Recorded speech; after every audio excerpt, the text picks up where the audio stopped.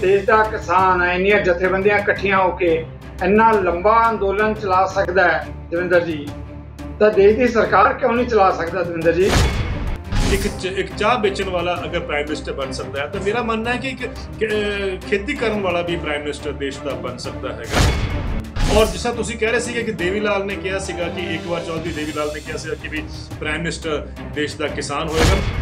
ਜਦੋਂ ਕਿਸਾਨ ਅੰਦੋਲਨ ਸ਼ੁਰੂ ਹੋਇਆ ਤੁਸੀਂ ਜਾਣਦੇ ਹੋ ਅਕਸਰ ਜਿਹੜਾ ਹੈਗਾ ਭਾਜਪਾ ਤੇ ਉਹਨਾਂ ਦੀ ਸਰਕਾਰਾਂ ਨੇ ਕਿਹਾ ਜੀ, ਕਿਸਾਨ ਤਾਂ ਖੇਤਾਂ 'ਚ ਕੰਮ ਕਰਨ ਵਾਲੇ ਆ, ਹਲ ਚਲਾਉਣ ਵਾਲੇ ਆ, ਕੱਸੀ ਲੈ ਕੇ ਕੰਮ ਕਰਨ ਵਾਲੇ ਆ, ਉਹ ਅੰਦੋਲਨ ਦੇ ਵਿੱਚ ਕਿੱਥੋਂ ਜਾਣ ਵਾਲੇ ਆ? ਬਹੁਤ ਬੜੀ ਗੱਲ ਹੈ। ਕਿ ਅਗਰ ਇੰਨਾ ਲੰਬਾ ਦੁਨੀਆ ਦਾ ਸਭ ਤੋਂ ਲੰਬਾ ਪ੍ਰੋਟੈਸਟ ਅਗਰ ਸਾਡੇ ਕਿਸਾਨ ਕਰਕੇ ਦਿਖਾ ਸਕਦੇ ਹੈਗੇ ਆ, ਔਰ ਹੱਲੇ ਵੀ ਹੱਲੇ ਵੀ ਕੋਈ ਖਤਮ ਤਾਂ ਨਹੀਂ ਹੋਇਆ, ਹੱਲੇ ਵੀ ਇਨ ਪ੍ਰੋਸੈਸ ਹੈਗਾ ਕੰਟੀਨਿਊ ਕਰ ਰਿਹਾ, ਤਾਂ ਕਿਉਂ ਨਹੀਂ ਸਰਕਾਰ ਦੀ ਫਾਰਮੇਸ਼ਨ ਦੀ ਜਿਹੜੀ ਪ੍ਰਤੀਕਿਰਿਆ ਹੁੰਦੀ ਆ, ਉਹ ਕਿਸਾਨ ਆਪਣੇ ਹੱਥ ਵਿੱਚ ਲੈ ਕੇ ਆ? ਕਈ ਵੱਡੀਆਂ ਕਿਸਾਨ ਜਥੇਬੰਦੀਆਂ ਉਹ ਹਮੇਸ਼ਾ ਦਾਵਾ ਕਰਦੀਆਂ ਕਿ ਅਸੀਂ ਰਾਜਨੀਤੀ ਤੋਂ ਦੂਰ ਰਹਿਣਾ ਅਸੀਂ ਰਾਜਨੀਤੀ 'ਚ ਹਿੱਸਾ ਨਹੀਂ ਲਵਾਂਗੀਆਂ। ਕੀ ਕੁਝ ਇਦਾਂ ਦੇ ਜਿਹੜੇ ਵਖਰੇਵੇਂ ਐ ਉਹ ਵੀ ਮੁਸ਼ਕਲਾਂ ਖੜੀਆਂ ਕਰ ਸਕਦੇ ਕਿਸਾਨਾਂ ਨੂੰ ਕਿਸੇ ਰਾਜਸੀ ਮੰਚ ਤੇ ਇਕੱਠੇ ਹੋਣ ਦੇ ਲਈ। ਉੱਤਰ ਪ੍ਰਦੇਸ਼ ਦੇ ਇੱਕ ਨੇਤਾ ਸੀਗੇ, ਗੌਰੀ ਸ਼ੰਕਰ ਜੀ ਵਿਦਵਾ ਉਹਨਾਂ ਦਾ ਬਹੁਤ ਇਹ ਸੀ ਪ੍ਰੈਸ਼ਰ ਸੀਗਾ ਕਿ ਵੀ ਸਾਨੂੰ ਪੋਲੀਟੀਕਲ ਹੋਣਾ ਚਾਹੀਦਾ, ਲੇਕਿਨ ਬਾਕੀ ਜਨਰਲ ਐਗਰੀਮੈਂਟ ਨਹੀਂ ਸੀਗੀ ਉਸ ਪਾਸੇ। ਉਸ ਟਾਈਮ ਐਗਰੀਮੈਂਟ ਨਹੀਂ ਸੀਗਾ ਗਰੁੱਪ ਵਿੱਚ ਕਿ ਸਭ ਨੂੰ ਪੋਲੀਟੀਕਲ ਹੋਣਾ ਚਾਹੀਦਾ। ਹਾਲਾਂਕਿ ਇੱਕ ਦੋ ਕਿਸਾਨ ਨੇਤਾ ਐਸੇ ਸੀਗੇ ਜਿਨ੍ਹਾਂ ਨੇ ਇਹ ਸਵਾਲ ਰੱਖਿਆ ਸੀਗਾ ਕਿ ਅਸੀਂ ਕਦ ਤੱਕ ਨਾਨ ਪੋਲੀਟੀਕਲ ਰਹਿ ਕੇ ਸੋਚਾਂਗੇ ਕਿ ਸਾਡੀ ਆਵਾਜ਼ ਜਿਹੜੀ ਹੈ ਬੁਲੰਦ ਹੁੰਦੀ ਰਹੇਗੀ ਜਾਂ ਆਵਾਜ਼ ਸੁਣੀ ਜਾਏਗੀ।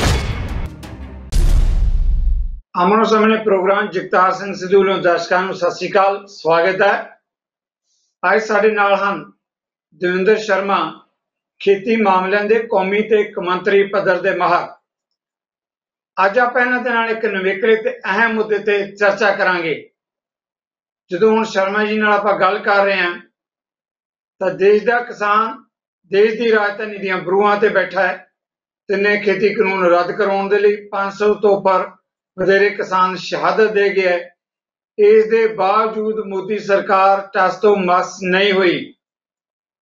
ਕੀ ਲੱਗਦਾ ਹੈ? ਸਮਾਂ ਆ ਗਿਆ ਕਿਸਾਨਾਂ ਨੂੰ ਹੁਣ ਆਪਣੀ ਸਰਕਾਰ ਬਣਾਉਣ ਲਈ ਏਜੰਡਾ ਤੈਅ ਕਰਨਾ ਚਾਹੀਦਾ ਹੈ।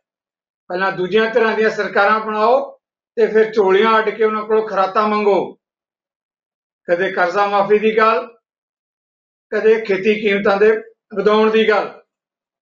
ਇਹਨਾਂ ਸਾਰੇ ਮੁੱਦਿਆਂ ਤੇ ਦਵਿੰਦਰ ਸ਼ਰਮਾ ਜੀ ਨਾਲ ਆਪਾਂ ਕਰਾਂਗੇ ਚਰਚਾ। ਦਵਿੰਦਰ ਜੀ ਸਾਡੇ ਪੈਨਲ ਤੇ ਆਉਣ ਲਈ ਮੇਰੀ ਟੀਮ ਵੱਲੋਂ ਮੇਰੇ ਦਰਸ਼ਕਾਂ ਵੱਲੋਂ ਸਵਾਗਤ ਹੈ ਜੀ ਆਇਆਂ ਨੂੰ। ਬਹੁਤ ਬਹੁਤ ਸਤਿ ਸ੍ਰੀ ਅਕਾਲ ਜਗਤਾਰ ਜੀ ਔਰ ਸਭ ਸਾਥੀਆਂ ਨੂੰ। ਮਿਹਰਬਾਨੀ। ਜਿੰਦਰ ਜੀ ਪਹਿਲਾਂ ਵੀ ਤੁਸੀਂ ਕਈ ਵਾਰ ਮੇਰੀ ਬੇਨਤੀ ਪ੍ਰਵਾਨ ਕਰਕੇ ਸਾਡੇ ਪੈਨਲ ਤੇ ਖੇਤੀ ਮੁੱਦਿਆਂ ਤੇ ਆਉਂਦੇ ਰਹੇ ਹੋ। ਪਰ ਅੱਜ ਮੈਂ ਕਿਸੇ ਨਵੇਕਲੇ ਮੁੱਦੇ ਤੇ ਚਰਚਾ ਲੈ ਰਿਹਾ ਹਾਂ। ਉਹ ਹੈ ਕਿ ਲੱਗਦਾ ਹੈ ਕੋਈ ਮੌਕਾ, ਸਮਾਂ ਆ ਗਿਆ ਕਿ ਇਸ ਵੇਲੇ ਹੁਣ ਜਿਹੜੇ ਦੇਸ਼ ਦੇ ਕਿਸਾਨ ਹੈ, ਉਹਨਾਂ ਨੂੰ ਰਾਜਸੀ ਤਰ੍ਹਾਂ ਦੇ ਚੁੰਗਲ ਚੋਂ ਬਾਹਰ ਆਉਣਾ ਚਾਹੀਦਾ ਹੈ। ਮੈਨੂੰ ਉਹ ਦਿਨ ਵੀ ਚੇਤੇ ਹੈ 2015 ਦੇ ਵਿੱਚ, ਜਦੋਂ ਬਲਵੀਰ ਸਿੰਘ ਰਾਜੇਵਾਲ ਨੇ ਕਿਸਾਨਾਂ ਨੂੰ ਇੱਕ ਪਲੇਟਫਾਰਮ ਤੇ ਇਕੱਠਾ ਕਰਨ ਦੀ ਗੱਲ ਕੀਤੀ ਸੀ, ਤਾਂ ਤੁਸੀਂ ਵੀ ਉਸ ਪਲੇਟਫਾਰਮ ਦਾ ਇੱਕ ਹਿੱਸਾ ਬਣੇ ਸੀ। ਕੀ ਹੁਣ ਮੌਕਾ ਆ ਗਿਆ ਦਵਿੰਦਰ ਜੀ? ਕਿ ਆਖਰ ਜਿੱਦਾਂ ਮੈਂ ਕਿਹਾ ਕਿ ਸਾਨੂੰ ਝੋਲੀਆਂ ਅੱਡਣ ਦੀ ਥਾਂ ਹੁਣ ਝੋਲੀਆਂ ਭਰ ਕੇ ਦੇਣ ਵਾਲੇ ਬਣਨਾ ਚਾਹੀਦਾ ਹੈ ਜਗਤਾਰ ਜੀ ਤੁਸੀਂ ਇੱਕ ਬਹੁਤ ਅਹਿਮ ਮੁੱਦਾ ਛੇੜਿਆ ਹੈਗਾ ਔਰ ਇਸ ਕਰਕੇ ਬਹੁਤ ਅਹਿਮ ਹੈਗਾ ਕਿਉਂਕਿ ਜਿਸ ਤਰ੍ਹਾਂ ਤੁਸੀਂ ਆਪਣੇ ਪਹਿਲੇ ਇੰਟਰੋਡਕਸ਼ਨ ਚ ਕਿਹਾ ਹੈਗਾ ਕਿ ਬਈ ਕਦ ਤੱਕ ਕਿਸਾਨ ਜਿਹੜਾ ਹੈਗਾ ਆਪਣੀ ਝੋਲੀ ਵੜ ਕੇ ਖੜਾ ਰਹੇਗਾ ਕਿ ਬਈ ਸਾਨੂੰ ਇਹ ਦੇ ਦਿਓ ਸਾਨੂੰ ਇਹ ਦੇ ਦਿਓ ਆਪਣੀ ਗੁਹਾਰ ਲਗਾਉਂਦਾ ਰਹੇਗਾ ਕਿਉਂ ਨਹੀਂ। ਸਰਕਾਰ ਅੰਨ ਦੇ ਵਿੱਚ ਸੋਚਿਆ ਜਾਏ ਕਿ ਵੀ ਕਿਸਾਨ ਦਾ ਹੁਣ ਯੋਗਦਾਨ ਸਿਰਫ ਇੰਨੇ ਕਿ ਵੀ ਇੱਕ ਮੈਂਬਰ ਚਲਾ ਗਿਆ ਜਾਂ ਇਧਰੋਂ ਦੋ ਮੈਂਬਰ ਚਲੇ ਗਏ ਹੈਗੇ ਜਾਂ ਦੋ ਸੀਟਾਂ ਇਧਰੋਂ ਮਿਲ ਗਈਆਂ ਇਸ ਪਾਰਟੀ ਤੋਂ, ਇੱਕ ਸੀਟ ਇਧਰੋਂ ਮਿਲ ਗਈ ਹੈਗੀ ਹੈ। ਇਹ ਸਭ ਨੂੰ ਹੁਣ ਕਿ ਸਟੇਜ ਤੋਂ ਬਾਹਰ ਨਿਕਲ ਕੇ ਅੱਜ ਕਿਸਾਨ ਇੱਕ ਐਸੇ ਲੈਵਲ ਤੇ ਆ ਚੁੱਕਿਆ ਹੈਗਾ ਮੇਰਾ ਮੰਨਣਾ ਹੈ ਕਿ ਬਈ ਉਹ ਆਪਣੀ ਸਰਕਾਰ ਬਣਾਉਣ ਦੇ ਸੋਚ ਜਿਹੜੀ ਹੈ ਉਹ ਆਪਣਾ ਬਿਲਕੁਲ ਉਸ ਰਸਤੇ ਤੇ ਚੱਲ ਸਕਦੇ ਹੈਗੇ ਹੈ। ਔਰ ਇਸ ਕਰਕੇ ਇਹ ਬੜਾ ਇੰਪੋਰਟੈਂਟ ਹੈ ਕਿ ਇਸ ਦੇਖ ਰਹੇ ਹਾਂ ਕਿ 5 ਮਹੀਨੇ ਹੋ ਗਏ ਆ ਕਿਸਾਨਾਂ ਨੂੰ ਦਿੱਲੀ ਦੇ ਬਾਰਡਰ ਤੇ ਬੈਠੇ ਹੋਏ। ਤੁਸੀਂ ਜਿਸ ਤਰ੍ਹਾਂ ਕਿਹਾ ਕਿ ਪੰਜ ਕਿਸਾਨ ਆਪਣੇ ਆਪਣੀ ਜੀਵਨ ਵੀ ਦੇ ਚੁੱਕੇ ਹੈਗੇ ਹੈ ਔਰ ਉਹਦੇ ਬਾਵਜੂਦ ਵੀ ਸਰਕਾਰ ਟਸ ਤੋਂ ਮਸ ਨਜ਼ਰ ਨਹੀਂ ਹੁੰਦੀ ਆ ਰਹੀ ਹੈਗੀ ਹੈ ਬਲਕਿ ਰੋਜ਼ ਕੋਈ ਨਾ ਕੋਈ ਅੜਚਨਾ ਪੇਸ਼ ਕੀਤੀ ਜਾਂਦੀਆਂ ਹੈਗੀਆਂ ਕਿਸਾਨਾਂ ਨੂੰ ਜੋ ਸਹਿਣੇ ਸਹਿਣੀ ਪੈਂਦੀਆਂ ਹੈਗੀਆਂ ਔਰ। ਇਹ ਵੀ ਦੱਸਿਆ ਜਾਂਦਾ ਕਿ ਮੈਸੇਜ ਦਿੱਤਾ ਜਾਂਦਾ ਕਿ ਵੀ ਐਜ਼ ਇਫ ਸਰਕਾਰਾਂ ਜਿਹੜੀ ਹੈਗੀਆਂ ਬੜੇ ਬੜੀ ਤੁਹਾਡੇ ਉੱਪਰ ਉਹ ਕਰ ਰਹੀ ਹੈਗੀਆਂ ਕੀ ਕਹਿੰਦੇ ਬੈਨੇਵੋਲੈਂਟ ਹੈਗੀਆਂ ਤੁਹਾਡੇ ਉੱਪਰ ਬੜਾ ਕਹਿੰਦੇ ਨਾ ਅਸੀਂ ਉਹ ਦਿਖਾ ਰਹੇ ਹੈਗੇ ਕਿ ਵੀ ਤੁਹਾਡਾ ਜਿਹੜਾ ਬੈਨੀਫਿਟ ਹੈ ਉਹ ਜੋ ਅਸੀਂ ਦੱਸ ਰਹੇ ਹੈਗੇ ਉਹਦੇ ਵਿੱਚ ਹੀ ਹੈਗਾ। ਇਹ ਸਾਰੀ ਸੋਚ। ਤੋਂ ਲੱਗਦਾ ਕਿ ਅੱਜ ਕਿਸਾਨ ਵਾਸਤੇ ਇੱਕ ਜ਼ਰੂਰੀ ਇੱਕ ਸਟੈਪ ਐਸਾ ਆ ਗਿਆ ਸਟੇਜ ਐਸੀ ਆ ਗਈ ਹੈ ਕਿ ਉਹਨੂੰ ਚਾਹੀਦਾ ਕਿ ਵੀ ਇਹ ਸੋਚੇ। ਇਸ ਕਈ ਕਦ ਤੱਕ ਅਸੀਂ ਇਹ ਇਸ ਤਰੀਕੇ ਨਾਲ ਪੋਲੀਟੀਕਲ ਪਾਰਟੀਆਂ ਦੇ ਸਾਹਮਣੇ ਖੜੇ ਰਹਾਂਗੇ ਗੁਹਾਰ ਕਰਦੇ. ਰਹਾਂਗੇ? ਜਿੰਦਰ ਜੀ ਇੱਕ ਸਵਾਲ ਮੈਂ ਸਰ ਮੈਂ ਇੱਕ ਸਵਾਲ ਬਿਲਕੁਲ ਇਸੇ ਮੁੱਦੇ ਤੇ ਲੈਣਾ ਚਾਹੁੰਦਾ ਜੋ ਤੁਸੀਂ ਕਹਿ ਰਹੇ ਹੋ। ਪਿਛਲੇ ਲੰਬੇ ਸਮੇਂ ਤੋਂ ਦੇਸ਼ ਦੇ ਅੰਦਰ ਵਿਕਾਸ ਦੇ ਨਾਂ ਤੇ ਜੋ ਵੋਟਾਂ ਮੰਗੀਆਂ ਜਾਂਦੀਆਂ ਰਹੀਆਂ ਪਰ ਇਸ ਦੇਸ਼ ਦਾ ਕਿਸਾਨ ਗੁਰਬਤ ਵੱਲ ਤੇ ਗਰੀਬੀ ਵੱਲ ਲਗਾਤਾਰ ਧੱਕਿਆ ਗਿਆ। ਫਿਰ ਕਿਸ ਦਾ ਵਿਕਾਸ ਹੋਇਆ ਦਵਿੰਦਰ ਜੀ? ਇਹ ਬਿਲਕੁਲ ਤੁਸੀਂ ਇਸ ਕਰਕੇ ਇਹ ਬੜੀ ਇੰਪੋਰਟੈਂਟ ਜੋ ਤੁਸੀਂ ਗੱਲ ਕਹਿ ਰਹੇ ਹੋ, ਜਦ ਤੱਕ ਇਹ ਨਹੀਂ ਸਮਝਾਂਗੇ ਤਾਂ ਸਮਝ ਨਹੀਂ ਆਉਂਦਾ ਕਿ ਵੀ ਕਿਸਾਨ ਜਿਹੜਾ ਹੈਗਾ ਮਜਬੂਰੀ 'ਚ ਜਾਂ ਆਪਣੇ ਜਿਹੜੇ ਕਹਿੰਦੇ ਕਮਿਟਮੈਂਟ ਨਾਲ ਜਾਂ ਡੈਡੀਕੇਸ਼ਨ ਨਾਲ ਇੰਨੇ ਦਿਨਾਂ ਤੋਂ ਬਾਰਡਰ ਤੇ, ਦਿੱਲੀ ਦੇ ਬਾਰਡਰ ਤੇ ਕਿਉਂ ਬੈਠਾ ਹੈਗਾ। ਔਰ ਇਹ ਸ- ਅਗਰ ਸਮਝਣ ਦੀ ਕੋਸ਼ਿਸ਼ ਕਰੀਏ ਤਾਂ ਅਸੀਂ ਦੇਖਾਂਗੇ ਪਿਛਲੇ ਕਈ ਦਸ਼ਕਾਂ ਤੋਂ ਕਿਸਾਨਾਂ ਦੇ ਨਾਲ ਜਿਹੜਾ ਇੱਕ ਅਨਿਆਏ ਹੁੰਦਾ ਆਇਆ ਹੈਗਾ ਉਹ ਉਹਦਾ ਹੀ ਗੁੱਸਾ ਹੈਗਾ ਜੋ ਅਸੀਂ ਦੇਖ ਰਹੇ ਹੈਗਾ ਕਿ ਦਿੱਲੀ ਦੇ ਬਾਰਡਰ ਤੇ ਜਿਸ ਤਰੀਕੇ ਨਾਲ ਕਿਸਾਨ ਬੈਠੇ ਹੈਗੇ ਆ, ਇਹ ਸੋਚ ਕੇ ਕਿ ਅਸੀਂ ਬਦਲਾਵ ਲੈ ਕੇ ਆਣਾ ਹੈਗਾ। ਬਦਲਾਵ ਕਿਸ ਵਾਸਤੇ? ਕਿ ਬਈ ਕਿਸਾਨੀ ਜਿਹੜੀ ਹੈਗੀ ਆ ਆਉਣ ਵਾਲੇ ਸਾਲਾਂ ਵਿੱਚ ਇੱਕ ਪ੍ਰੋਫਿਟੇਬਲ ਵੈਂਚਰ ਬਣੇ ਇੱਕ ਇਕਨੋਮਿਕਲੀ ਵਾਇਬਲ ਵੈਂਚਰ ਬਣੇ ਇਹ ਕਿਸਾਨਾਂ ਦਾ। ਆਪਣਾ ਲੇਕਿਨ ਕਿਆ ਇਕਨੋਮਿਕ ਜਿਹੜਾ ਢਾਂਚਾ ਹੈਗਾ ਇਸ ਗੱਲ ਨੂੰ ਕਬੂਲ ਕਰਦਾ ਹੈ? ਮੇਰਾ ਮੰਨਣਾ ਹੈ ਕਿ ਨੋ ਕਿਸ ਇਕਨੋਮਿਕ ਢਾਂਚਾ ਜਾਂ ਇਕਨੋਮਿਕ ਡਿਜ਼ਾਈਨ ਜਿਹੜਾ ਹੈਗਾ ਅੱਜ ਉਹ ਮੰਨ ਕੇ ਚੱਲਿਆ ਹੈਗਾ ਕਿ ਐਗਰੀਕਲਚਰ ਨੂੰ ਸੈਕਰੀਫਾਈਸ ਕਰਨਾ ਹੈਗਾ ਇਕਨੋਮਿਕ ਗਰੋਥ ਵਾਸਤੇ ਕਿਸਾਨਾਂ ਨੂੰ ਵੀ ਸਮਝਣਾ ਹੈਗਾ ਕਿ ਤੁਸੀਂ ਕਦ ਤੱਕ ਉਸੇ ਸੋਚ ਦੇ ਉੱਪਰ ਡਿਪੈਂਡੈਂਟ ਰਹੋਗੇ? ਜਿਹੜੀ ਇਹ ਸੋਚ ਰਹੀ ਹੈ ਕਿ ਵੀ ਤੁਹਾਨੂੰ ਕਿਤੇ ਥੋੜਾ ਜਿਹਾ ਇੱਧਰ ਦੇਤਾ ਥੋੜਾ ਜਿਹਾ ਉੱਧਰ ਦੇਤਾ ਤਾਂ ਕਿ ਤੁਸੀਂ ਤੁਸੀਂ ਆਪਣੇ ਗੁੱਸੇ ਨੂੰ ਜ਼ਾਹਿਰ ਨਾ ਕਰੋ। ਲੇਕਿਨ ਸਚਾਈ ਇਹ ਹੈ ਕਿ ਕਿਸਾਨਾਂ ਨੂੰ ਇਕਨੋਮਿਕ ਡਿਜ਼ਾਈਨ ਸਿਰਫ ਹਿੰਦੁਸਤਾਨ 'ਚ ਨਹੀਂ ਦੁਨੀਆ 'ਚ ਦੇਖ ਲਈਏ ਜਗਤਾਰ ਜੀ ਤਾਂ ਇਹ ਕੋਸ਼ਿਸ਼ ਹੈ ਕਿ ਕਿਸਾਨਾਂ ਨੂੰ ਖੇਤੀ 'ਚੋਂ ਬਾਹਰ ਕੱਢ ਕੇ ਸ਼ਹਿਰਾਂ ਵਿੱਚ ਲੈ ਕੇ ਆਇਆ ਜਾਏ ਕਿਉਂਕਿ ਸ਼ਹਿਰਾਂ ਵਿੱਚ ਦਿਹਾੜੀ ਮਜ਼ਦੂਰ ਦੀ ਜ਼ਰੂਰਤ ਹੈਗੀ ਹੈ। ਤੇ ਅਗਰ ਕਿਸਾਨ ਦਾ ਤਾਂ ਮੈਨੂੰ ਲੱਗਦਾ ਕਿ ਉਹ ਤੋਂ ਨਿਕਲਣ ਦੇ ਵਾਸਤੇ ਅੱਜ ਕਿਸਾਨ ਨੇ ਸਭ ਕੋਸ਼ਿਸ਼ਾਂ ਕਰ ਲਈਆਂ। ਹੁਣ ਉਹਨਾਂ ਨੂੰ ਆਪਣੇ ਆਪ ਹੀ, ਆਪਣੇ ਆਪ ਤੇ ਵਿਸ਼ਵਾਸ ਕਰਨਾ ਪਏਗਾ। ਜੀ, ਦਵਿੰਦਰ ਜੀ, ਜਿਸ ਦੀ ਤੁਸੀਂ ਗੱਲ ਕਰ ਰਹੇ ਹੋ, ਕਿਸਾਨ ਨੂੰ ਹਮੇਸ਼ਾ ਹੀ ਜਿਹੜੀਆਂ ਹੈਗੀਆਂ ਰਾਜਸੀ ਧਿਰਾਂ ਉਹਨਾਂ ਨੇ ਵੋਟ ਬੈਂਕ ਤੋਂ ਵੱਧ ਕੋਈ ਸਮਝਿਆ ਹੀ ਨਹੀਂ।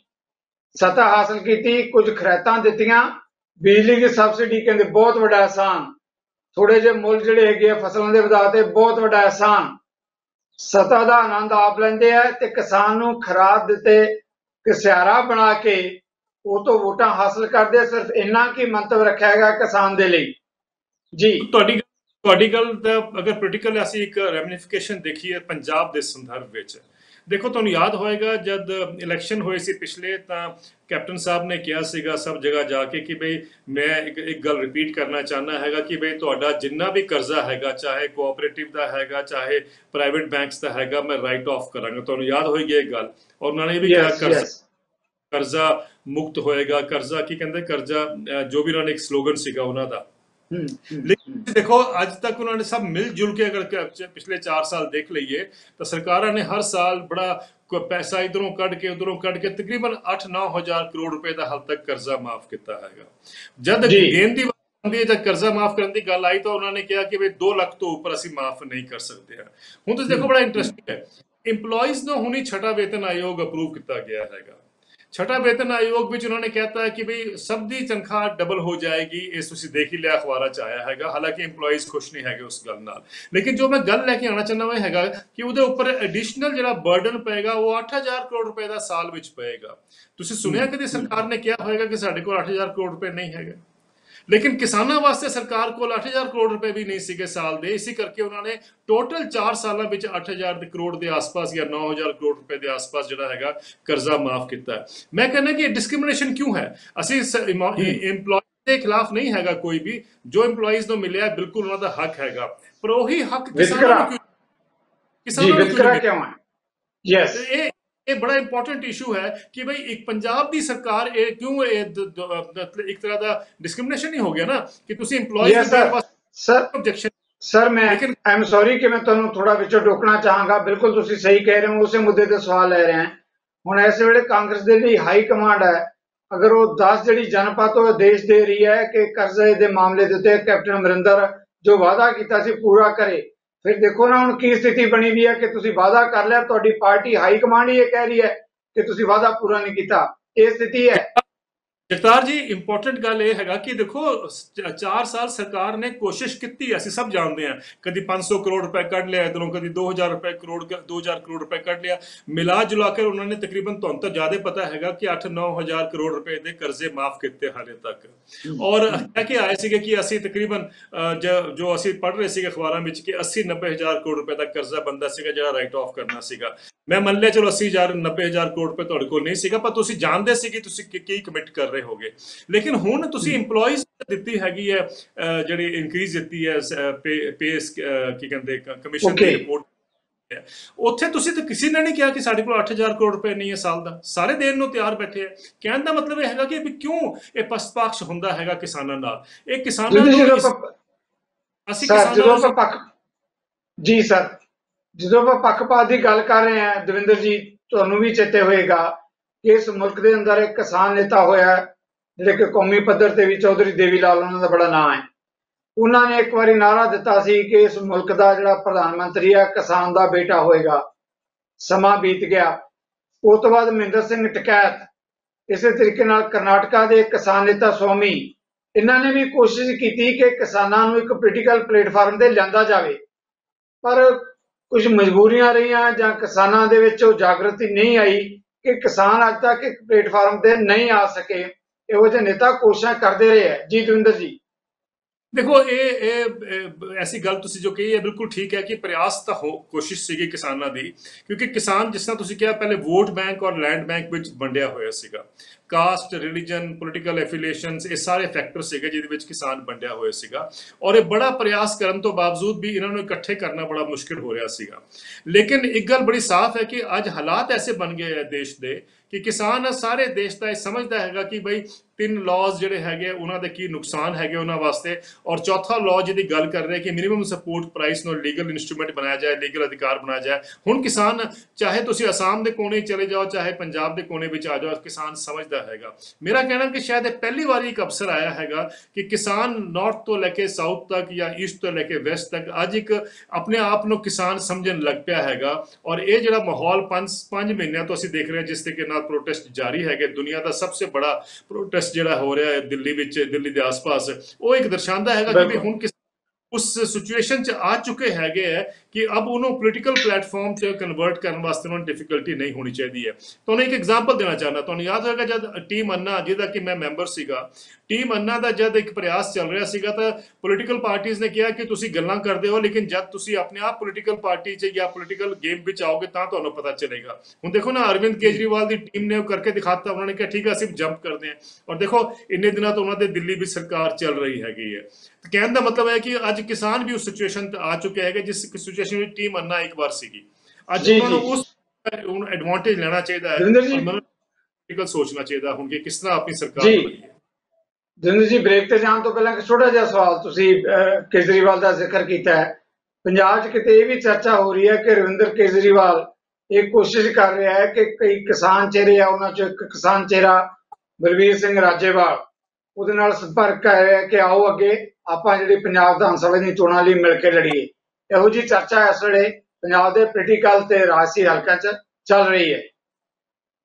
ਠੀਕ ਕਹਿ ਰਹੇ ਹੋ ਔਰ ਜੋ ਤੁਸੀਂ ਪਹਿਲੇ ਇੱਕ ਸਵਾਲ ਕੀਤਾ ਸੀਗਾ ਨਾ ਕਿ ਜਦ ਮਹਿੰਦਰ ਸਿੰਘ ਟਕੈਤ ਔਰ ਪ੍ਰੋਫੈਸਰ ਡੀ ਨੰਜਦਾ ਸਵਾਮੀ ਕਰਨਾਟਕਾ ਵਾਲੇ ਮੈਨੂੰ ਯਾਦ ਹੈ ਕਿ ਕੋਈ 20 ਸਾਲ ਪਹਿਲੇ ਮੇਰੇ ਕੋਲ ਆਏ ਸੀਗੇ ਔਰ ਮੈਂ ਇਹ ਗੱਲ ਤੁਹਾਡੇ ਨਾਲ ਸ਼ੇਅਰ ਕਰਨਾ ਚਾਹਨਾ ਹੈ ਕਿ ਮੈਨੂੰ ਉਹਨਾਂ ਨੇ ਇਹ ਕਿਹਾ ਸੀਗਾ ਕਿ ਭਾਈ ਤੁਸੀਂ ਇੱਕ ਐਫਰਟ ਕਰੋ ਤਾਂ ਕਿ ਦੇ- ਤੁਸੀਂ ਕਾਮਨ ਡਿਨੋਮੀਨੇਟਰ ਹੋ ਤੁਹਾਨੂੰ ਸਭ ਕਿਸਾਨ ਨੇਤਾ ਜਾਣਦੇ ਹੈਗੇ ਮੂਵਮੈਂਟਸ ਤੁਹਾਨੂੰ ਜਾਣਦੇ ਹੈਗੇ ਹੈ, ਤੁਹਾਡਾ ਸਭ ਨਾਲ ਅੱਛਾ ਇੱਕ ਵਿਵਹਾਰ ਹੈਗਾ ਰਿਲੇਸ਼ਨਸ਼ਿਪ ਹੈਗਾ। ਤੁਸੀਂ ਅਗਰ ਇਨਵਾਈਟ ਕਰੋਗੇ ਤਾਂ ਸਾਰੇ ਇਹ ਇਕੱਠੇ ਇੱਕ ਪਲੇਟਫਾਰਮ ਤੇ ਹੋ ਜਾਣਗੇ। ਮੈਂ ਉਸ ਸਮੇਂ ਸੋਚਦਾ ਸੀਗਾ ਕਿ ਸ਼ਾਇਦ ਮੇਰਾ ਇਹ ਕੰਮ ਨਹੀਂ ਹੈਗਾ ਔਰ ਮੈਂ ਉਹਨਾਂ ਨੂੰ ਮਾਫੀ ਮੰਗੀ ਮੈਂ ਰੀਗਲ ਆਊਟ ਕੀਤਾ ਕਿ ਭਈ ਇਹ ਕੰਮ ਮੇਰਾ ਨਹੀਂ ਹੈਗਾ ਔਰ ਇਹ ਤੁਸੀਂ ਕਰੋਗੇ ਮੈਂ ਉਹਨਾਂ ਨੂੰ ਐਨਕਰੇਜ ਤਾਂ ਕਰਦਾ ਜੀ। ਰਿਹਾ।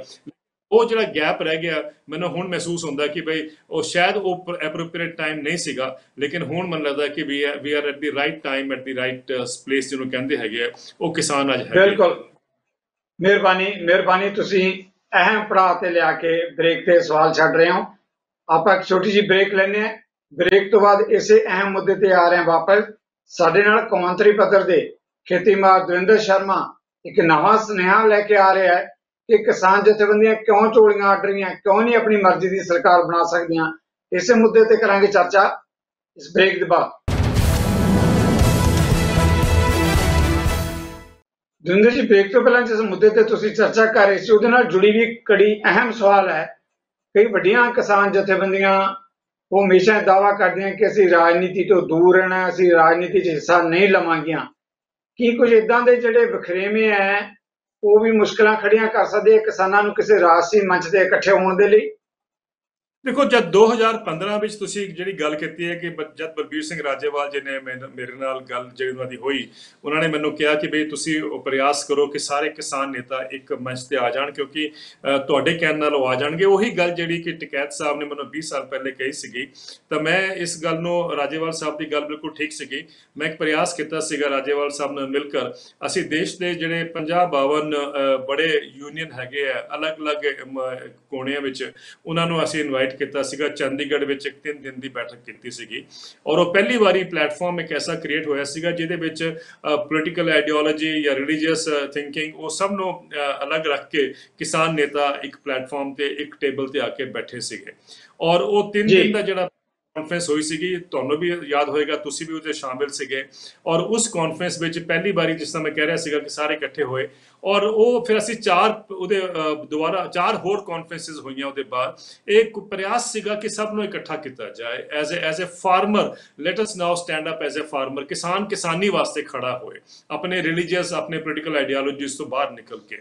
ਔਰ ਚਾਰ ਬੈਠਕਾਂ ਹੋਰ ਕੀਤੀਆਂ ਬੈਂਗਲੌਰ ਅਕੋਲਾ ਸ਼ਿਮਲਾ। ਔਰ ਇਹਨਾਂ ਸਾਰੇ ਵਿੱਚ ਇੱਕ ਗੱਲ ਬਹੁਤ ਅਹਿਮ ਨਿਕਲ ਕੇ ਆਈ ਕਿ ਕਿਸਾਨਾਂ ਨੂੰ ਇਕਜੁੱਟ ਹੋਣਾ ਚਾਹੀਦਾ ਸਾਰੇ ਦੇਸ਼ ਦੀਆਂ। ਔਰ ਮੈਂ ਹਰ ਵਾਰ ਕਹਿੰਦਾ ਸੀਗਾ ਕਿ ਅਸੀਂ ਕੋਸ਼ਿਸ਼ ਇਹ ਕਰੀਏ ਕਿ ਅਸੀਂ ਇਲੈਕਸ਼ਨਸ ਨੂੰ ਪੋਲੀਟੀਕਲ ਪ੍ਰੋਸੈਸ ਨੂੰ ਅਸੀਂ ਇਨਫਲੂਐਂਸ ਕਰ ਸਕੀਏ। ਮੈਂ ਇਸ ਕਰਕੇ ਕਹਿ ਰਿਹਾ ਕਿਉਂਕਿ ਉਸ ਟਾਈਮ ਐਗਰੀਮੈਂਟ ਨਹੀਂ ਸੀਗਾ ਗਰੁੱਪ ਵਿੱਚ ਕਿ ਸਭ ਨੂੰ ਪੋਲੀਟੀਕਲ ਹੋਣਾ ਚਾਹੀਦਾ। ਹਾਲਾਂਕਿ ਇੱਕ ਦੋ ਕਿਸਾਨ ਨੇਤਾ ਐਸੇ ਸੀਗੇ ਜਿਨ੍ਹਾਂ ਨੇ ਇਹ ਸਵਾਲ ਰੱਖਿਆ ਸੀਗਾ ਕਿ ਅਸੀਂ ਕਦ ਤੱਕ ਨਾਨ ਪੋਲੀਟੀਕਲ ਰਹਿ ਕੇ ਸੋਚਾਂਗੇ ਕਿ ਸਾਡੀ ਆਵਾਜ਼ ਜਿਹੜੀ ਹੈ ਬੁਲੰਦ ਹੁੰਦੀ ਰਹੇਗੀ ਜਾਂ ਆਵਾਜ਼ ਸੁਣੀ ਜਾਏਗੀ। ਸਾਨੂੰ ਪੋਲੀਟੀਕਲ ਹੋਣਾ ਪਏਗਾ। ਇਹ ਇੱਕ ਆਪਣੇ ਬੁਲੰਦ ਸ਼ਹਿਰ ਦੇ ਬੁਲੰਦ ਸ਼ਹਿਰ ਦੇ ਨਹੀਂ ਆਪਣੇ ਉੱਤਰ ਪ੍ਰਦੇਸ਼ ਦੇ ਇੱਕ ਨੇਤਾ ਸੀਗੇ ਗੌਰੀ ਸ਼ੰਕਰ ਜੀ ਬਿਦੁਆ। ਉਹਨਾਂ ਦਾ ਬਹੁਤ ਇਹ ਸੀ ਪ੍ਰੈਸ਼ਰ ਸੀਗਾ ਕਿ ਵੀ ਸਾਨੂੰ ਪੋਲੀਟੀਕਲ ਹੋਣਾ ਚਾਹੀਦਾ ਲੇਕਿਨ ਬਾਕੀ ਜਨਰਲ ਐਗਰੀਮੈਂਟ ਨਹੀਂ ਸੀਗੀ ਉਸ ਪਾਸੇ। ਤਾਂ ਮੇਰਾ ਇਹ ਕਹਿਣਾ ਸੀਗਾ ਕਿ ਬਈ ਅਸੀਂ ਸਿਰਫ ਇਹ ਪ੍ਰਯਾਸ ਜਿਹੜਾ ਹੈਗਾ ਇਹ ਇਨਫਲੂਐਂਸ ਕਰਨ ਵਾਸਤੇ ਹੈਗਾ ਪੋਲੀਟੀਕਲ ਪ੍ਰੋਸੈਸ ਨੂੰ ਜਿਹੜੀ ਅਗਰੀ ਇਲੈਕਸ਼ਨ ਆਣੀ ਸੀਗੀਆਂ 2019 ਦੀਆਂ। ਲੇਕਿਨ ਮੈਨੂੰ ਲੱਗਦਾ ਕਿ। ਹੁਣ ਸਿਚੁਏਸ਼ਨ ਆ ਚੁੱਕੀ ਹੈਗੀ ਹੈ ਕਿ ਸਾਰੇ ਦੇਸ਼ ਦੇ ਕਿਸਾਨ ਜਿਸ ਤਰ੍ਹਾਂ ਮੈਂ ਕਹਿ ਰਿਹਾ ਸੀਗਾ ਕਿ ਐਪਰੋਪ੍ਰੀਏਟ ਇੱਕ এনवायरमेंट ਜਿਹੜਾ ਹੁੰਦਾ ਉਹ ਕ੍ਰੀਏਟ ਹੋ ਗਿਆ ਹੈਗਾ। ਐਂਡ ਆਈ ਸੋਚਣਾ ਚਾਹੀਦਾ ਕਿ ਵੀ 2024 ਦੀ ਇਲੈਕਸ਼ਨ ਕਿਉਂ ਨਹੀਂ ਕਿਸਾਨ ਆਪਣੇ ਬਲਬੂਤੇ ਤੇ ਖੜੇ ਖੜੇ ਹੋ ਕੇ ਇਲੈਕਸ਼ਨ ਲੜਨ? ਕਿਉਂ ਕਿਸੇ ਤੇ ਡਿਪੈਂਡੈਂਟ ਹੋਏ? ਕਿਉਂ ਕਿਸੇ ਇੱਕ ਪਾਰਟੀ ਤੋਂ ਇੱਕ ਟਿਕਟ ਮਿਲ ਜਾਂਦੀ ਹੈ ਦੂਜੀ ਪਾਰਟੀ ਤੋਂ ਦੂਜੀ ਟਿਕਟ ਮਿਲ ਜਾਂਦੀ ਹੈ? ਅਸੀਂ ਇਹ ਸੋਚਣਾ ਪਏਗਾ। ਦੂਜੀ ਗੱਲ ਜਿਹੜੀ ਤੁਹਾਡੀ ਬੜੀ ਇੰਪੋਰਟੈਂਟ ਸੀਗੀ ਕਿ ਕੁਝ ਜਥੇਬੰਦੀਆਂ ਹਲੇ ਇਹ ਕਹਿੰਦੀਆਂ ਹੈ ਕਿ ਵੀ ਸਾਨੂੰ ਨਾਨ ਪੋਲੀਟੀਕਲ ਰਹਿਣਾ ਚਾਹੀਦਾ। ਮੈਨੂੰ ਲੱਗਦਾ ਕਿ ਇਹ ਇਹ ਇਹ ਜਿਹੜੀ ਹਰਡਲਸ ਹੈਗੇ ਇਹ ਤਾਂ ਆਣਗੇ ਇਸ ਪ੍ਰੋਸੈਸ ਵਿੱਚ। ਆਈ ਥਿੰਕ ਜਿਸ ਤਰ੍ਹਾਂ ਅਸੀਂ। ਮੂਵ ਕਰਾਂਗੇ ਕਿ ਸ਼ਾਇਦ ਇਹਦੇ ਉੱਪਰ ਹੋਰ ਇੱਕ ਵਾਈਡਰ ਇੱਕ ਜਿਹੜਾ ਇੱਕ ਕੰਸੈਂਸਸ ਬਣ ਜਾਏਗਾ ਕਿ ਬਈ ਸਾਨੂੰ ਪੋਲੀਟੀਕਲ ਕਿਉਂ ਹੋਣਾ ਚਾਹੀਦਾ ਇੱਕ ਮੈਨੂੰ ਲੱਗਦਾ ਕਿ ਇਹ ਪ੍ਰਯਾਸ ਕਰਨ ਚ ਕੋਈ ਹਿਚਕਿਚਾਉਣਾ ਨਹੀਂ ਚਾਹੀਦਾ। ਹੁਣ ਇੱਕ ਬਿਲਕੁਲ ਠੀਕ। ਦਵਿੰਦਰ ਜੀ ਦਵਿੰਦਰ ਜੀ ਇੱਕ ਹੋਰ ਅਹਿਮ ਮੁੱਦਾ ਇਸੇ ਤੇ ਮੈਂ ਗੱਲ ਕਰਨੀ ਚਾਹੁੰਦਾ ਤੁਹਾਡੇ ਨਾਲ। ਜਦੋਂ ਕਿਸਾਨ ਅੰਦੋਲਨ ਸ਼ੁਰੂ ਹੋਇਆ ਤੁਸੀਂ ਜਾਣਦੇ ਹੋ ਅਕਸਰ ਜਿਹੜਾ ਹੈਗਾ ਭਾਜਪਾ ਤੇ ਉਹਨਾਂ ਦੀ ਸਰਕਾਰਾਂ ਨੇ ਕਿਹਾ ਜੀ ਕਿਸਾਨ ਤਾਂ ਖੇਤਾਂ 'ਚ ਕੰਮ ਕਰਨ ਵਾਲੇ ਐ ਹਲ ਚਲਾਉਣ ਵਾਲੇ ਐ ਕੱਸੀ ਲੈ ਕੇ ਕੰਮ ਕਰਨ ਵਾਲੇ ਐ ਉਹ ਅੰਦੋਲਨ ਦੇ ਵਿੱਚ ਕਿੱਥੋਂ ਜਾਣ ਵਾਲੇ ਯਾਨੀ ਕਿਸਾਨ ਨੂੰ ਉਹਨਾਂ ਦਾ ਸੀਗਾ ਕਿ ਜੀ ਤਾਂ ਖੇਤ ਤੋਂ ਬਾਹਰ ਨਹੀਂ ਸਕਦੇ। ਕੋਈ ਤਰ੍ਹਾਂ ਇਹੋ ਜੀਆਂ ਹੋਣਗੀਆਂ ਜਿਹੜੀਆਂ ਕਿਸਾਨਾਂ ਦਾ ਕੰਮ ਤਾਂ ਫਸਲਾਂ ਪੈਦਾ ਕਰਨਾ ਤੇ ਮੁੜ ਕੇ ਸਾਡੇ ਹੱਥਾਂ ਵੱਲ ਦੇਖਣਾ ਜੇ ਇਸ ਦੇਸ਼ ਦਾ ਕਿਸਾਨ ਇੰਨੀਆਂ ਜਥੇਬੰਦੀਆਂ ਇਕੱਠੀਆਂ ਹੋ ਕੇ ਇੰਨਾ ਲੰਬਾ ਅੰਦੋਲਨ ਚਲਾ ਸਕਦਾ ਹੈ ਦਵਿੰਦਰ ਜੀ, ਤਾਂ ਦੇਸ਼ ਦੀ ਸਰਕਾਰ ਕਿਉਂ ਨਹੀਂ ਚਲਾ ਸਕਦਾ ਦਵਿੰਦਰ ਜੀ? ਬਹੁਤ ਬੜੀ ਗੱਲ ਹੈ ਕਿ ਅਗਰ ਇੰਨਾ ਲੰਬਾ ਦੁਨੀਆ ਦਾ ਸਭ ਤੋਂ ਲੰਬਾ ਪ੍ਰੋਟੈਸਟ ਅਗਰ ਸਾਡੇ ਕਿਸਾਨ ਕਰਕੇ ਦਿਖਾ ਸਕਦੇ ਹੈਗੇ ਆ, ਔਰ ਹੱਲੇ ਵੀ ਹੱਲੇ ਵੀ ਕੋਈ ਖਤਮ ਤਾਂ ਨਹੀਂ ਹੋਇਆ, ਹੱਲੇ ਵੀ ਇਨ ਪ੍ਰੋਸੈਸ ਹੈਗਾ ਕੰਟੀਨਿਊ ਕਰ ਰਿਹਾ, ਤਾਂ ਕਿਉਂ ਨਹੀਂ ਸਰਕਾਰ ਦੀ ਫਾਰਮੇਸ਼ਨ ਦੀ ਜਿਹੜੀ ਇੱਕ ਪ੍ਰਤੀਕਿਰਿਆ ਹੁੰਦੀ ਆ, ਉਹ ਕਿਸਾਨ ਆਪਣੇ ਹੱਥ ਵਿੱਚ ਲੈ ਕੇ ਆਣ ਕਿਉਂਕਿ ਆਫਟਰ ਆਲ ਜਿਹੜੀ ਇਕਨੋਮਿਕ ਸੋਚ ਦੀ ਕਿਸਾਨ ਅੱਜ ਗੱਲ ਕਰ ਰਹੇ ਹੈਗੇ ਆ, ਉਹ ਇਕਨੋਮਿਕ ਸੋਚ ਜਿਹੜੀ ਹੈ, ਉਹਦਾ ਟਕਰਾਵ ਹੁੰਦਾ ਰਹੇ ਹੈਗਾ, ਮ- ਜਿਹੜੀ ਮੇਨਲਾਈਨ ਇਕਨੋਮਿਕ ਸੋਚ ਦੇ ਨਾਲ ਟਕਰਾਵ ਹੁੰਦਾ ਰਹੇਗਾ। ਜੇ ਕਿਸਾਨਾਂ ਨੂੰ ਵਾਕਈ ਹੀ ਆਪਣਾ ਕਿਸਾਨੀ ਦਾ ਫਿਊਚਰ ਬਚਾਉਣਾ ਹੈਗਾ ਜਾਂ ਕਿਸਾਨਾਂ ਦੀ ਜੌਬ ਸਿਕਿਉਰਿਟੀ ਜਾਂ ਇਨਕਮ ਸਿਕਿਉਰਿਟੀ ਅਸੀਂ ਗੱਲ ਕਰ ਰਹੇ ਹੈਗੇ ਹਾਂ। ਮੈਨੂੰ ਲੱਗਦਾ ਹੈ ਕਿ ਉਹਨਾਂ ਨੂੰ ਹੁਣ ਸੋਚਣਾ ਚਾਹੀਦਾ ਕਿ ਵੀ ਕਿਸ ਤਰੀਕੇ ਨਾਲ ਉਹੀ ਇਹ ਉਹ ਰੋਲ ਅਦਾ ਕਰਨ ਕਿ ਸਿਵਾਏ ਜਿਹੜਾ ਸੋਚਿਆ ਜਾਂਦਾ ਨਾ ਕਿ ਕਿਸਾਨ ਤਾਂ ਪਿੰਡਾਂ ਵਿੱਚ ਰਹਿੰਦਾ, ਕੱਸੀ ਨਾਲ ਕੰਮ ਕਰਦਾ ਹੈਗਾ, ਖੇਤ ਵਿੱਚੋਂ ਨਿਕਲ ਨਹੀਂ ਸਕਦਾ ਹੈਗਾ, ਤੇ ਉਹਦੀ ਉਹ ਉੱਥੇ ਰਹਿੰਦੇ ਹੋ ਉਹਨੂੰ। ਨਹੀਂ। ਕਿਉਂ ਨਹੀਂ ਕਿਸਾਨ ਆ ਕੇ ਉਸ ਮੰਚ ਤੇ ਵੀ ਬੈਠ ਸਕਦਾ ਹੈਗਾ। ਕਿਉਂ ਨਹੀਂ? ਜਦ ਅਸੀਂ ਕਹਿੰਦੇ ਆ ਨਾ, ਇੱਕ ਚ- ਇੱਕ ਚਾਹ ਵੇਚਣ ਵਾਲਾ ਅਗਰ ਪ੍ਰਾਈਮ ਮਿਨਿਸਟਰ ਬਣ ਸਕਦਾ ਹੈ, ਤਾਂ ਮੇਰਾ ਮੰਨਣਾ ਹੈ ਕਿ ਇੱਕ ਖੇਤੀ ਕਰਨ ਵਾਲਾ ਵੀ ਪ੍ਰਾਈਮ ਮਿਨਿਸਟਰ ਦੇਸ਼ ਦਾ ਬਣ ਸਕਦਾ ਹੈਗਾ। ਔਰ ਜਿਸ ਤਰ੍ਹਾਂ ਤੁਸੀਂ ਕਹਿ ਰਹੇ ਸੀਗੇ ਕਿ ਦੇਵੀ ਲਾਲ ਨੇ ਕਿਹਾ ਸੀਗਾ ਕਿ ਇੱਕ ਵਾਰ ਚੌਧਰੀ ਦੇਵੀ ਲਾਲ ਨੇ ਕਿਹਾ ਸੀਗਾ ਕਿ ਵੀ ਪ੍ਰਾਈਮ ਮਿਨਿਸਟਰ ਦੇਸ਼ ਦਾ ਕਿਸਾਨ ਹੋਏਗਾ। ਮੈਨੂੰ ਯਾਦ ਹੈ, ਉਹ ਤੋਂ ਪਹਿਲੇ ਜਦ ਚੌਧਰੀ ਚਰਨ ਸਿੰਘ ਸ- ਸੀਗੇ, ਉਸ ਟਾਈਮ ਵੀ ਮੇਰੇ ਨਾਲ ਜਿਹੜੀ ਉਹਨਾਂ ਦੀ ਗੱਲਬਾਤ ਹੁੰਦੀ ਸੀਗੀ, ਉਹ ਹਾਲਾਂਕਿ ਅਸੀਂ ਉਹਨਾਂ ਨੂੰ ਪਹਿਲਾ ਕਿਸਾਨ ਨੇਤਾ ਮੰਨਦੇ ਸੀਗੇ। ਲੇਕਿਨ ਉਹਨਾਂ ਦਾ ਵੀ ਕਹਿਣਾ ਸੀਗਾ ਕਿ ਬਈ ਇੱਕ ਟਾਈਮ ਐਸਾ ਆਏਗਾ ਮੈਨੂੰ ਯਾਦ ਮੇਰੇ ਨਾਲ ਜਿਹੜੀ ਉਹਨਾਂ ਦੀ ਗੱਲਬਾਤ ਚੱਲਦੀ ਸੀ, ਕਦੀ ਅਸੀਂ ਡਿਸਕਸ਼ਨ ਕਰਦੇ ਸੀਗੇ, ਉਹਨਾਂ ਦਾ ਬੜਾ ਪ੍ਰੈਸ਼ਰ ਸੀਗਾ ਜਾਂ ਸੋਚ ਸੀਗੀ ਕਿ ਇੱਕ ਦਿਨ ਐਸਾ ਜ਼ਰੂਰ ਆਏਗਾ ਜਦ ਕਿਸਾਨ ਜਿਹੜਾ ਹੈਗਾ ਪੋਲੀਟੀਕਲ ਜਿਹੜੇ ਉਹਦੇ, ਜਿਹੜਾ ਉਹਦੀ ਬੈਟਲ ਹੈ, ਉਹਦੇ ਵਿੱਚ ਸਭ ਤੋਂ ਅੱਗੇ ਹੋਏਗਾ ਐਂਡ ਗਵਰਨਮੈਂਟ ਦੀ ਫਾਰਮੇਸ਼ਨ ਦੀ ਗੱਲ ਕਰੇਗਾ ਜਾਂ ਅੱਗੇ ਵੀ ਪ੍ਰਾਈਮ ਮਿਨਿਸਟਰ ਜਿਹੜੇ ਹੈਗੇ ਆ, ਉਹ ਖੇਤੀ ਚੋਂ ਨਿਕਲ ਕੇ ਆਣਗੇ ਅਗਰ ਇਹ ਸੋਚ ਉਸ ਟਾਈਮ ਵੀ ਸੀਗੀ ਫਿਰ ਦੇ ਚੌਧਰੀ ਦੇਵੀ ਲਾਲ ਨੇ ਕਿਹਾ ਵੀਪੀ ਸਿੰਘ ਸਾਹਿਬ ਵੀ ਇਹੀ ਕਹਿੰਦੇ ਸੀਗੇ ਔਰ ਉਹਦੇ ਬਾਅਦ ਮਨ ਲੱਗਦਾ ਕਿ ਹੁਣ ਜਿਹੜਾ ਇੱਕ এনवायरमेंट ਬਣ ਗਿਆ, ਮਾਹੌਲ ਬਣ ਗਿਆ ਹੈਗਾ, ਸੋਚ ਬਣ ਗਈ ਹੈਗੀ ਹੈ, ਉਸ ਚੀਜ਼ ਨੂੰ ਇੱਕ ਜਿਹੜਾ ਕਹਿੰਦੇ ਨਾ ਇੱਕ ਇੱਕ ਫਾਊਂਡੇਸ਼ਨ ਬਣ ਚੁੱਕੀ ਹੈਗੀ ਹੈ ਔਰ ਹੁਣ ਕਿਸੇ ਵੀ ਪੋਲੀਟੀਕਲ ਸੋਚ ਨੂੰ ਲਿਆਣਾ ਉਸੇ ਉਸੇ ਨਾਨ ਪੋਲੀਟੀਕਲ ਜਿਹੜਾ ਜਿਹੜਾ ਸਾਡਾ ਪ੍ਰੋਟੈਸਟ ਹੁੰਦਾ ਸੀਗਾ ਜਾਂ ਜਿਹੜਾ ਇੱਕ ਤਰ੍ਹਾਂ ਦਾ ਬਲਬੂਤਾ ਖੜਾ ਸੀਗਾ ਸਾਰੇ ਦੁਨੀਆ, ਸਾਰੇ ਦੇਸ਼ ਵਿੱਚ, ਮਨ ਲੱਗਦਾ ਕਿ ਉਹਨੂੰ ਉਸ ਤਰਫ ਡਾਈਵਰਟ ਕੀਤਾ ਜਾ ਸਕਦਾ, ਉਹਨੂੰ ਉਸ ਤਰਫ ਖਿੱਚਿਆ ਜਾ ਸਕਦਾ ਹੈਗਾ ਔਰ ਇਹ ਨਹੀਂ ਮੈਂ ਹੀ ਨਹੀਂ ਕਹਿ ਰਿਹਾ ਹੈਗਾ, ਇੱਕ ਦੋ ਨੇਤਾ ਮੈਂ ਹੋਰ ਵੀ ਦੇਖੇ, ਉਹਨਾਂ ਦੇ ਆਰਟੀਕਲ ਛਪੇ ਹੈਗੇ ਆ, ਜੋ ਕਹਿ ਰਹੇ ਹੈਗਾ ਕਿ ਵੀ ਕਿਤੇ ਨਾ ਕਿਤੇ ਸਾਨੂੰ ਪੋਲੀਟੀਕਲ ਸੋਚ ਤਰਫ ਵੱਢਣਾ ਪਏਗਾ।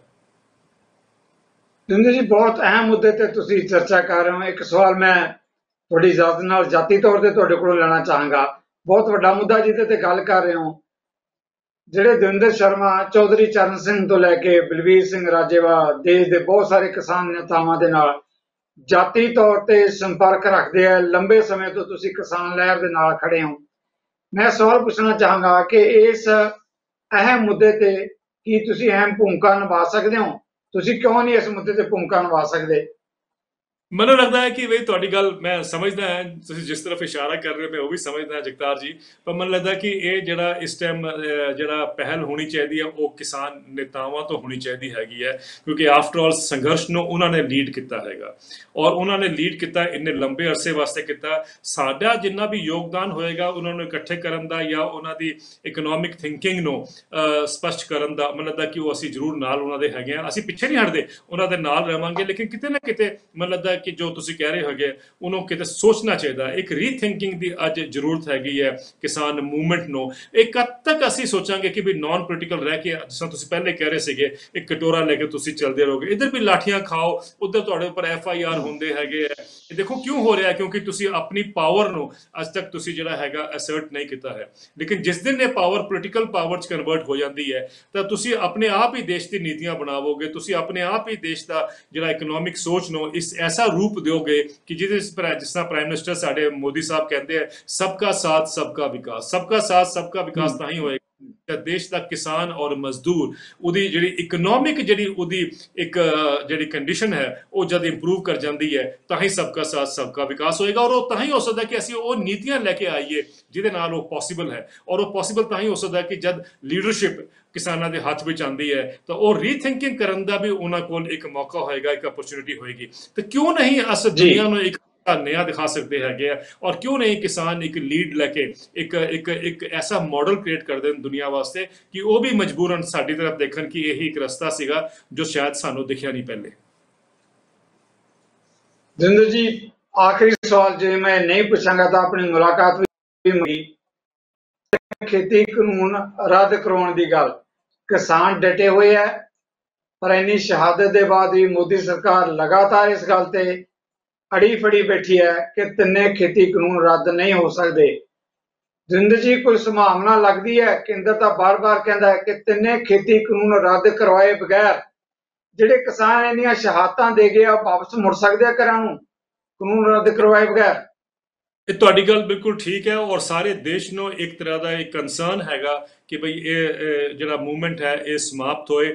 ਇੱਕ ਹਸੀ ਖੁਸ਼ੀ ਕਿਸਾਨ ਆਪਣੇ ਵਾਪਿਸ ਪਿੰਡਾਂ ਵਿੱਚ ਜਾਣ ਆਪਣੇ ਖੇਤ ਵਿੱਚ ਜਾਣ ਇਹ ਸਭ ਐਕਸਪੈਕਟ ਕਰ ਰਹੇ ਹੈਗੇ ਆ ਲੇਕਿਨ ਜਿਹੜਾ ਸਟੇਲਮੇਟ ਹੈਗਾ ਉਹ ਕਾਫੀ ਲੰਬਾ ਖਿੱਚ ਗਿਆ ਹੈਗਾ। ਔਰ ਅਲਟੀਮੇਟਲੀ ਹੁਣ ਜੋ ਅਸੀਂ ਦੇਖ ਰਹੇ ਹੈਗੇ ਜੋ ਪੜ ਰਹੇ ਹੈਗੇ ਆ, ਉਹ ਇਹ ਕਹਿੰਦੇ ਆ ਕਿ ਜਦ ਤੱਕ ਯੂਪੀ ਦੇ ਇਲੈਕਸ਼ਨ ਜਿਹੜੇ ਹੈਗੇ ਆ ਉਹ ਡਿਟਰਮਿਨ ਕਰਨਗੇ ਕਿ ਕਿਸ ਤਰਫ ਝੁਕਾਵ ਹੋਏਗਾ ਸਰਕਾਰ ਦਾ। ਕਿਉਂਕਿ ਅਗਰ ਉੱਥੇ ਇੱਕ ਨਜ਼ਰ ਆਂਦਾ ਹੈ ਕਿ ਵੀ ਉਹਦਾ ਕਿਸਾਨ ਮੂਵਮੈਂਟ ਦਾ ਅਸਰ ਪਿਆ ਹੈਗਾ ਪੋਲੀਟੀਕਲ ਉਹਦਾ ਜਿਹੜਾ ਰੈਮਿਫਿਕੇਸ਼ਨ ਹੋਏਗਾ ਉਹਦੇ ਉਹਦੇ ਨਾਲ ਹੀ ਰਿਜ਼ਲਟ ਜੁੜਿਆ ਹੈਗਾ। ਜੇ ਇਹ ਪੋਸੀਬਲ ਹੈ ਜਾਂ ਇਹ ਲੋਕੀ ਸੋਚ ਰਹੇ ਹੈਗੇ ਆ, ਜਗਤਾਰ ਜੀ ਤਾਂ ਬੜੀ ਸਿੰਪਲ ਗੱਲ ਹੈਗੀ ਹੈ। ਤੇ ਕਿਸਾਨਾਂ ਨੂੰ ਸਮਝ ਲੈਣਾ ਚਾਹੀਦਾ ਕਿ ultimately you know the buck stops at the political level ਅਗਰ buck stops at the political level ਜਿਸ ਤਰ੍ਹਾਂ ਅਸੀਂ ਅੰਗਰੇਜ਼ੀ ਚ ਕਹਿੰਦੇ ਹੈਗੇ ਆ ਤਾਂ ਫਿਰ ਕਿਸਾਨਾਂ ਨੂੰ ਹੁਣ ਸੋਚ ਲੈਣਾ ਚਾਹੀਦਾ ਕਿ ਭਈ ਤੁਸੀਂ ਕਦ ਤੱਕ 5-5 6-6 ਮਹੀਨੇ ਜਾਂ ਸਾਲ 2 ਸਾਲ ਦੇ ਪ੍ਰੋਟੈਸਟ ਕਰਦੇ ਰਹੋਗੇ, ਤੁਹਾਨੂੰ ਹੁਣ ਚਾਹੀਦਾ ਕਿ ਆਪਣਾ ਇੱਕ ਐਸਾ ਰੂਪ ਲਓ। ਮੈਂ ਚਾਹਾਂਗਾ ਕਿ ਵੀ ਕਾਰਪੋਰੇਟ ਦੇ ਲੋਕੀ ਪ੍ਰੋਟੈਸਟ ਬੈਠਣ। ਕਿਉਂ ਨਹੀਂ ਜੰਤਰ ਮੰਤਰ ਤੇ ਉਹ ਲੋਕੀ ਕਹਿੰਦੇ ਕਿ ਸਾਡਾ ਕਰਜ਼ਾ ਮਾਫ ਕਰੋ? ਕਿਉਂ ਕਿਸਾਨਾਂ ਨੂੰ ਜੰਤਰ ਮੰਤਰ ਤੇ ਜਾ ਕੇ ਕਰਜ਼ਾ ਮਾਫ ਦੀ ਡਿਮਾਂਡ ਕਰਨੀ ਪੈਂਦੀ ਹੈ? ਕੀ ਗੱਲ ਹੈਗੀ ਹੈ?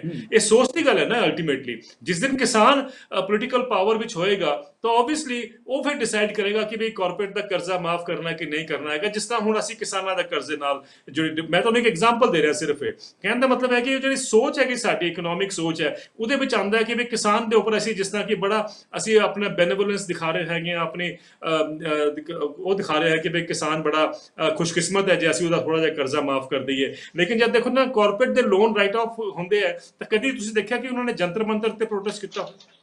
ਕਿਉਂ ਨਹੀਂ ਮੇਰਾ ਮਤਲਬ ਕਹਿਣ ਦਾ ਹੈਗਾ ਕਿ ਇਹ ਡਿਸਕ੍ਰਿਮੀਨੇਸ਼ਨ ਇਹ ਡਾਈਕੋਟਮੀ ਇਹ ਕਦ ਖਤਮ ਹੋਏਗੀ ਇਹ ਤਾਂ ਹੀ ਖਤਮ ਹੋ ਸਕਦੀ ਹੈ ਜਿਸ ਦਿਨ ਕਿਸਾਨ ਇਹ ਸੋਚ ਲੇ ਕਿ ਬਈ ਪੋਲੀਟੀਕਲ ਪਾਵਰ ਜਿਹੜੀ ਹੈਗੀ ਆ ਉਹ ਅਲਟੀਮੇਟ ਡਿਸਾਈਡ ਕਰਦੀ ਹੈ ਕਿ ਬਈ ਡਿਸੀਜਨ ਜਾਂ ਇਕਨੋਮਿਕ ਸੋਚ ਕਿਸ ਤਰਫ ਜਾਣੀ ਚਾਹੀਦੀ ਹੈਗੀ ਹੈ ਔਰ ਕਿਸਾਨਾਂ ਨੇ ਇੰਨੇ ਦਸ਼ਕਾਂ ਤੋਂ ਇੱਕ ਉਹਨਾਂ ਨਾਲ ਅਨਿਆਏ ਹੁੰਦਾ ਆਇਆ ਹੈਗਾ ਜੇ ਤੁਸੀਂ ਤੁਹਾਨੂੰ ਮੈਂ ਦੁਬਾਰਾ ਇੱਕ ਰਿਪੀਟ ਕਰਨਾ ਚਾਹਾਂਗਾ ਗੱਲ ਆਪਾਂ ਪਹਿਲੇ ਹੀ ਬਹੁਤ ਵਾਰੀ ਕੀਤੀ ਹੈਗੀ ਹੈ ਕਿ 2016 ਦੇ ਇਕਨੋਮਿਕ ਸਰਵੇ ਵਿੱਚ ਕਿਹਾ ਸੀਗਾ ਕਿ ਅੱਧੇ ਦੇਸ਼ ਵਿੱਚ ਯਾਨੀ 17 ਰਾਜੇ ਵਿੱਚ ਜੋ ਕਿਸਾਨ ਦੀ ਔਸਤਨ ਆਏ ਹੈਗੀ ਮੰਥਲੀ ਜਾਂ ਉਹਨੂੰ ਅਗਰ ਸਾਲ ਦੀ ਪਹਿਲੇ ਗਿਣ ਲਈਏ ਤਾਂ 20000 ਰੁਪਏ ਸਾਲ ਦੀ ਕਿਸ- ਔਸਤਨ ਇਨਕਮ ਹੈਗੀ ਹੈ।